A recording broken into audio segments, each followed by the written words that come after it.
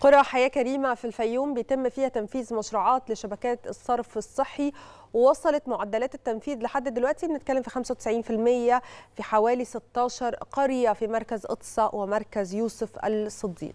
دلوقتي أيضا بيتم تكثيف الأعمال في المشروعات دي علشان تبدأ تدخل الخدمة في أقرب وقت ممكن وعشان تلبي احتياجات المواطنين داخل هذه القرى. تعالوا نشوف التقرير.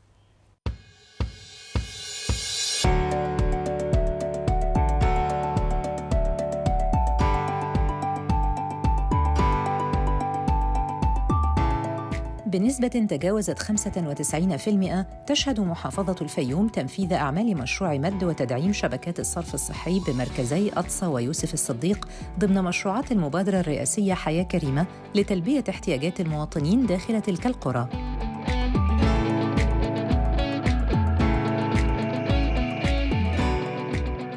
ووسط أعمال مكثفة تقوم بها شركة الفيوم لمياه الشرب والصرف تم الانتهاء من شبكات الصرف الصحي في 16 قرية من أصل 17 قرية بالمركزين وتبلغ الأطوال الكلية للشبكات بالمشروع 72 كيلومتراً بمركز أطصى و35 كيلومتراً بمركز يوسف الصديق.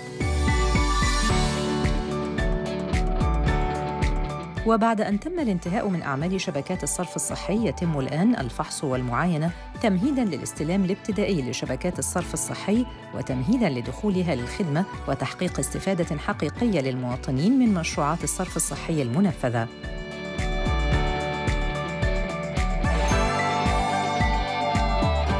ويتم تنفيذ تلك المشروعات بناء على خطة محكمة من أجل تحقيق ارتفاع نسب التغطية بالصرف الصحي على مستوى محافظة الفيوم وذلك في ضوء تنفيذ مشروعات المبادرة الرئاسية لتطوير الريف المصري حياة كريمة.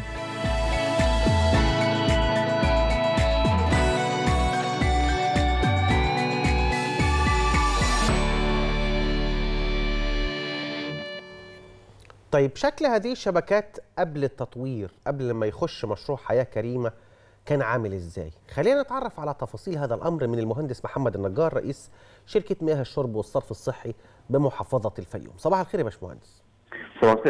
صباح الخير على حضرتك. يعني بنتكلم في نسبة كبيرة من أعمال التنفيذ لمشروعات الصرف الصحي بلغت يعني حوالي 95% كلمنا عن أبرز الأعمال اللي اندرجت تحت هذه النسبة الكبيرة. وزي ما كان مصطفى بيقول إحنا في الأول أصلا عايزين نعرف الشكل كان عامل إزاي.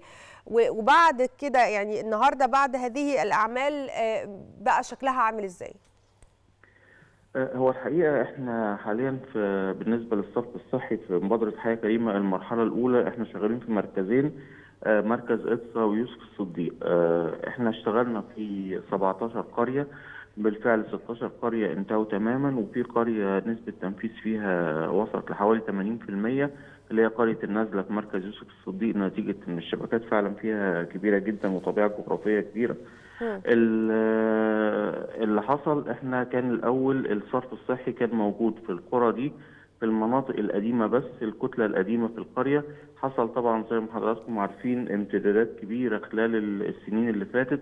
أصبحت في مناطق تماثل يمكن الكتلة القديمة وأكثر منها موجودة حاليا في القرية ما كانتش مخدومة بالصرف الصحي. كان بتحصل طبعا كمية مشاكل كبيرة. بيحصل فيه صرف سلبي صرف خام على بعض المصارف وبعض الترع كان في تلوث للبيئة كان في مشاكل كتيرة عند الأهالي من الخزانات اللي موجودة عندهم.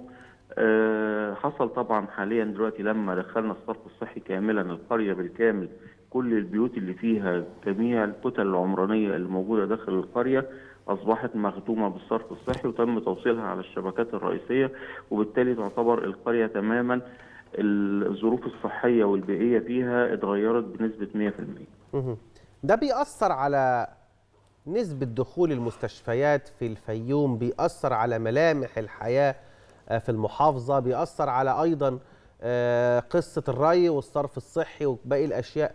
يعني أنا بدون الدخول في التفاصيل الحكومية الخبر واضح يا باشمهندس ولكن كلمني عن ملامح هذا الأمر من كل الزوايا. هو بالفعل زي سيادتك ما أشرت التأثير المباشر والغير مباشر من خدمة الصرف الصحي فعلا الزيادة فعلا في الأمان بالنسبة للناس الموجودة هناك لأن فعلا لما تكون البلد الصرف الصحي فيها موجود تماما طبعا نسبة ال- الإصابة اللي هي نتيجة التلوث بتقل تماما آه، نسبة الحياة فعلا آه، جودة الحياة بترتفع فعلا في القرية بشكل كبير الأمور الناس هناك فعلا بتحس بفرق في ال- في المعيشة أنا فعلا قاعد في مكان آه، فيه المية موجودة بشكل آه، سليم وكويس الصرف الصحي موجود بشكل آمن وكويس طبعا. جودة الحياة بتختلف تماما. لا يعني آه، يعني ال- اللي زار آه، هذه القرى من قبل عارف إن يمكن الشكوى الرئيسية كانت لل مق- يعني لمواطنين هذه القرى صحيح. الصرف الصحي. يعني كانت مشكلة فعلا كبيرة جدا وكان المواطنين بيتكلموا عنها وبيشتكوا منها. فالنهاردة إحنا بنتكلم على إنجاز كبير جدا ومهم جدا جدا عشان النهارده في الأول وفي الآخر إحنا بنوفر فعلا حياة تليق بالمواطن المصري. وده وده المعنى ال- ال- اللي الحكومة أو الدولة المصرية عايزة توصله حياة كريمة بالظبط. لكل المواطنين. بالظبط. على أي حال شكرا للمهندس محمد نجار رئيس شركة مياه الشرب والصرف الصحي بمحافظة الفيوم ونتمنى لكل باقي المحافظة إن هي يعني تكون خرجت من هذا الأمر بأفضل شكل ممكن.